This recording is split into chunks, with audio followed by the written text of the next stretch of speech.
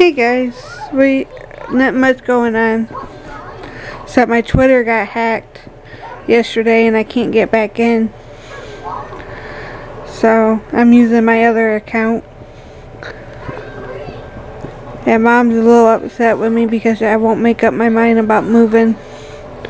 And I, I said I was tired of buying her cigarettes.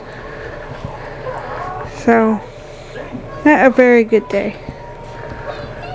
Last couple days.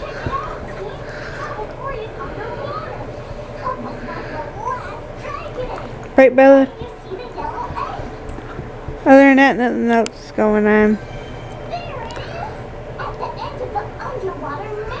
Right, Bella? Right, Bella?